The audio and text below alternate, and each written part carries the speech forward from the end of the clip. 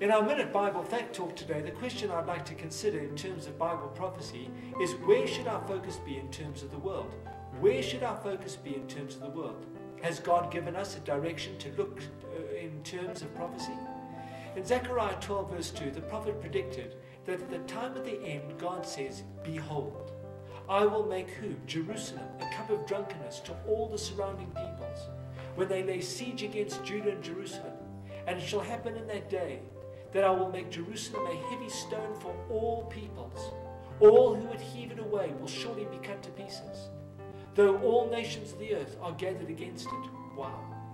Has it ever seemed strange to you that almost every night on the evening news, the eyes of the world focuses on a little country in the Middle East called Israel and on a small city called Jerusalem?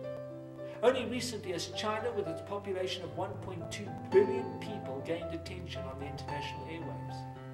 But seldom does Mexico City, one of the largest population centers in the world, draw international attention.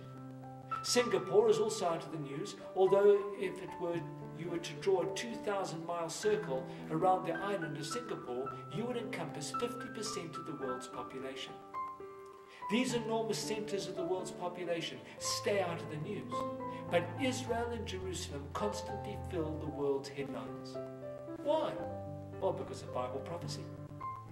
Dr. John Walvoord, a dean of all prophecy experts, has written The prophecies about Jerusalem make it clear that the holy city will be in the center of world events in the end times. The conflict between Israel and the Palestinian will focus more and more attention on Jerusalem. In all these situations, Jerusalem is the city to watch, as the city of prophetic destiny prepares to act out her final role. The total world situation may be expected more and more to be cast into the mold that prophecy indicates. It seems that the stage and the actors are ready for the final drama in which Jerusalem will be the key. Wow.